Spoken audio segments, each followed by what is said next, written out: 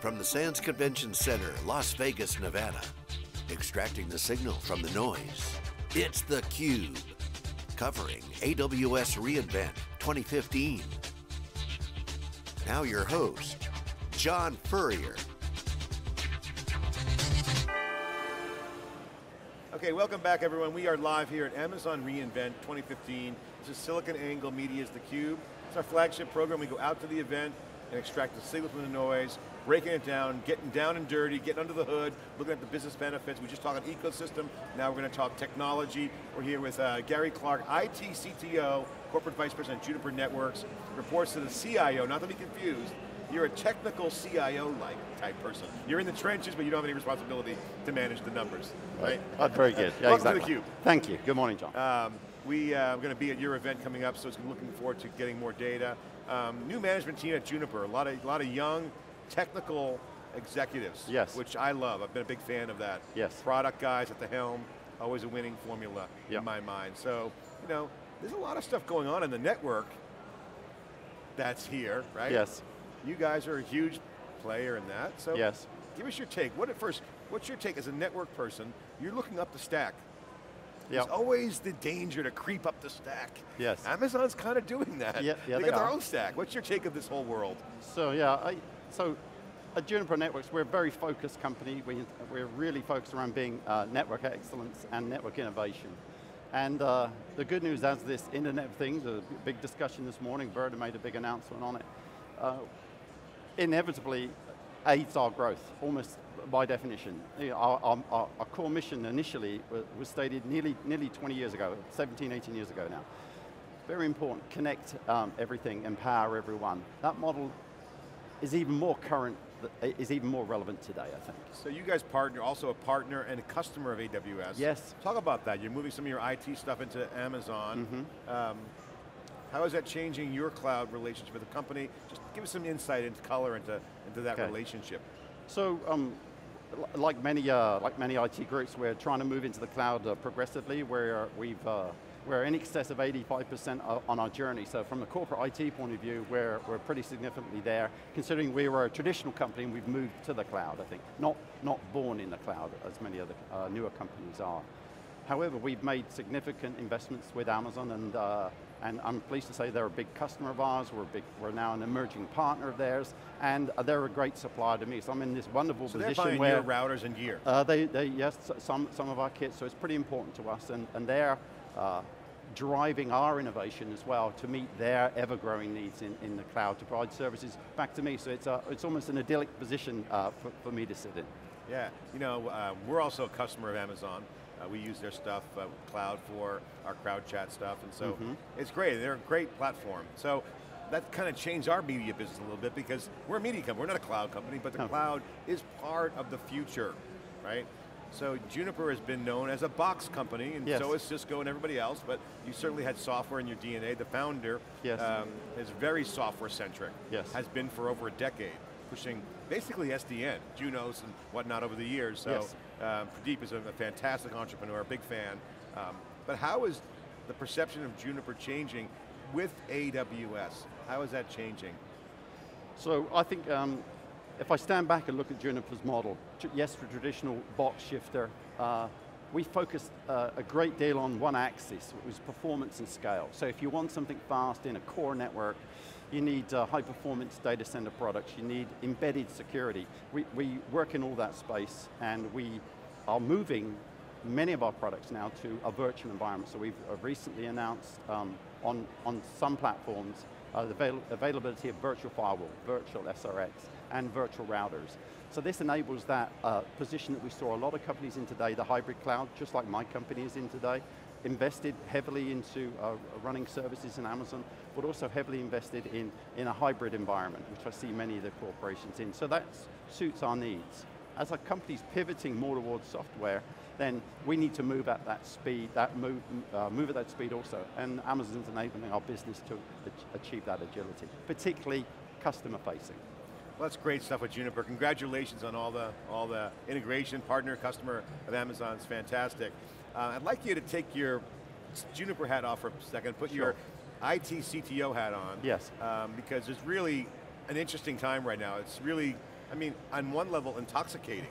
The, all the opportunity, the technology, Yep. it's super exciting. On the other hand, it's scary, crazy scary, as Stu Miniman at Wikibon said.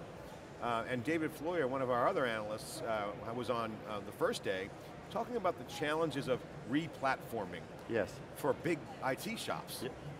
Can you share some insight into that? Because you're technical CTO uh, for IT. The levels of scale on transformation. I mean, some people would just wish they have a magic wand, say, okay, go to the cloud, I want the economics, I want the OpEx, Yes. you know, just genie in the bottle kind of thing. How hard is it to do that? Transforming, re-platforming the entire IT.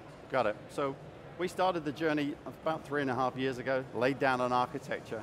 As it happens, we started with the network first. It was interesting to hear the uh, head of professional services yesterday for Amazon indicating that a lot of people missed that first step. So he's, his first box was, hey, key transformation architecture. I have to agree with him. I am an architect uh, Yeah, uh, for, you have a my living.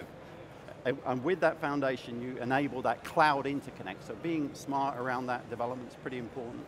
Um, so set an architecture, move what you can to SaaS, of course. Not everything's going to, not, Yeah. not all of our applications are going to be there, so we've been great, uh, other great partners like Office 365, uh, Salesforce.com, many other, uh, again, customer partner kind of relationships. So take some of the easy wins and tackle some of the, um, and- and tackle the training very seriously. Deep training, uh, Amazon's been great there. We've worked with partners through, Cloud Technology Partners is a partner. So we've, we've leveraged, if you like, the new, the new uh, infrastructure, the new Yeah. ecosystem that's coming up around Amazon. I'll tell you what the most exciting thing, I think in this transformation, this technology thing, how, how hard is it? I think Amazon is making it easier. These announcements around Lambda, the announcements around a serverless build. I can see this is going to be great for my uh, data, data analytics, BI uh, application areas, which I think clearly they're empowering. And, and other, other key, key statements they've made, they've, they've configured their compute towards specific, uh, like in-memory compute around HANA, very smart move, I think, on, on their part to get into that marketplace. So I think all these pieces have enabled us to set an architecture and then go to the market pretty aggressively. So we, we, we figure we're, I say, 85% there, three years. I think another 18 months we'll be grossly in the cloud. Yeah, I mean, they also did, corporate they were smart. They did building blocks. Yes. Um, when I sat down with Andy Jassy, it was very clear. A few building blocks, and then they built up from there. And it really becomes an issue of easy, right? So like, standing stuff up is a theme you hear with Amazon. Standing stuff up easily and fast. Yes. Getting some value. Yes, But it's not, it sounds simple. But to your point, it's an architectural game. right. And then construction, right? So, And, and I think Werner made a good point this morning. Uh, complex systems are born from simple ideas and you expand upon those ideas. And that was his, his Yeah. uh, lecture, if you like, for the day. Uh, it was a total lecture. But I want his one uh, comment that I tweeted, I want to get your take on this. Sure. Because I loved it. And I kind of I hear what he's saying. He says, everyone knows how to build reliable systems. They just didn't have the hardware budget to do it. yes, Basically what he's referring to is, we understand on the, on the theory on a whiteboard, a lot of smart people know architecture, can lay out the ideal reliable system. yep.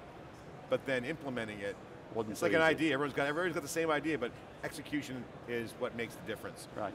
What is he, what is he talking about there when he says uh, reliable system? Is he talking about the cloud as a lower cost structure, a more enabling technology, all of the above?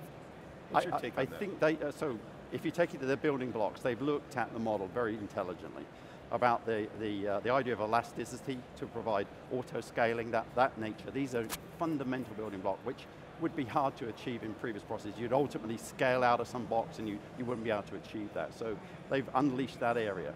They've done global load balancing, gives you the high availability. These are these key things in transforming this high reliability. So high availability is a key thing, disaster recovery is another key thing.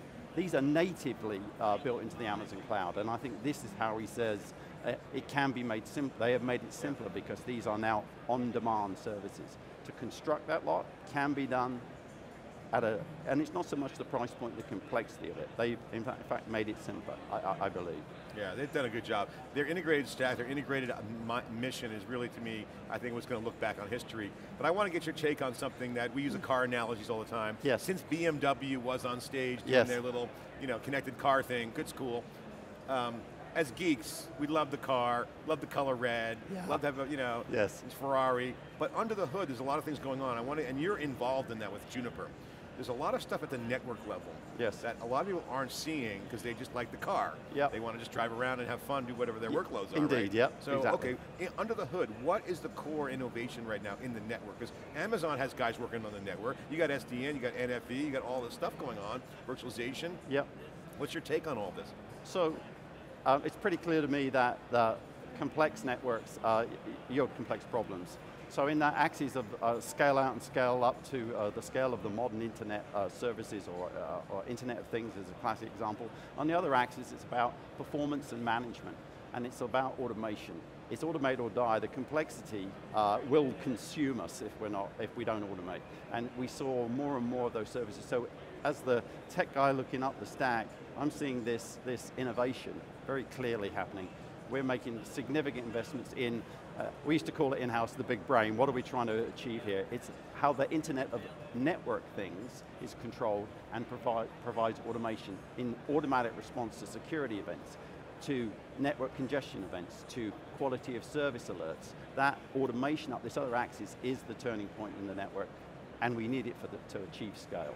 Okay, so let's just say that we are in a new era where there's cars and IT's in the cloud. The old IT is the horse and buggy. Yes. Okay, so now everyone's got cars, roads got to be paved. You talk about skills and training. Mm. We got architecture, we have new construction for how to build out large scale, reliable systems Mm-hmm. in fully integrated stacks, all et cetera, et cetera. We love that. Training, who, what is the skill set? What are the skill gaps? What are the new guys that are going to be hanging the iron, if you will, for this new construction? Architecture's been laid out, now they got to go execute. What, what is the core skill set? Skill set? Interdisciplinary, data science, all this stuff's going on. Yes. What's your take?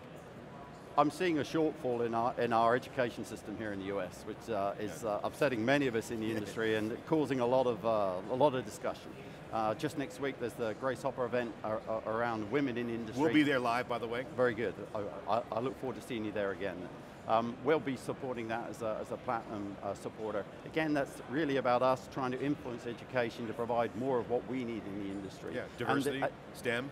Yes, exactly. Huge problem. STEM problem, and, and we're seeing, we're, we're not seeing any fundamental change at this point. We're, we're seeing people talking about it. Uh, I, I, we're trying to be active. We're, we're a partner with some universities, we're a Yeah. partner with colleges, and we're trying to do more uh, to improve that space. And this is a big issue to me. We're very passionate on SiliconANGLE. We do our best to get the data out there, and thank you for sharing your knowledge, but this is the issue for us.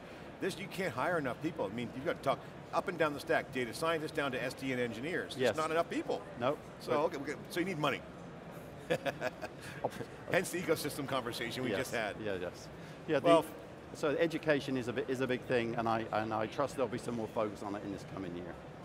Gary, thanks so much. Final point, I'll give you the final word. Yes. Share with the folks that are watching, what's the, that aren't here at the event. Yeah. I mean, it's kind of magical in a way. It's mm-hmm. exciting, a lot of buzz. Sure. But real business is being done. What's the vibe of the show? What's going on here? What's the big story this year around Amazon Web Services? They're building, uh, enabling us as um, customers of Amazon to build things faster, quicker, for sure, and fundamentally cheaper because of the building blocks. So I think this, and the classic example today was, uh, was this Internet of Things. This is a massive growing market. Uh, it's good for my company, it's good for the business. Good for everybody. It's good for everybody. More, and more training's needed, all this stuff. Yes, and, and the automation that they've achieved in, in bring, bringing services to the market is just outstanding. So This is a the rising the tide. the, big, the big thing around that is the ability which we can now move nearer to the Internet of Things speeds that's required to keep up with the market. Gary, thanks so much for sharing your knowledge here on theCUBE. Really appreciate it. You're watching SiliconANGLE.tv and we will be at the Grace Hopper celebration of women in computing. Next week, I'll be there with Jeff Frick. We're going to be down there, our big stage. We're going to be having a ton of women in tech talking about the journey, the challenges, opportunities. Great stuff, and you're watching SiliconANGLE.tv. And we have every Wednesday, Women in Wednesday, tech featured athlete on SiliconANGLE.tv. You're watching us live here now at Amazon reInvent. We'll be right back after this short break.